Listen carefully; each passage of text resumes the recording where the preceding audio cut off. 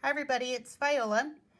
I made this card with the Secret Garden set from Bo Bunny and the Taylored Expression stamp die set called You Light Up My Life. And I got three lamps here and when you push on the button, the lamps light up. Thanks for joining me.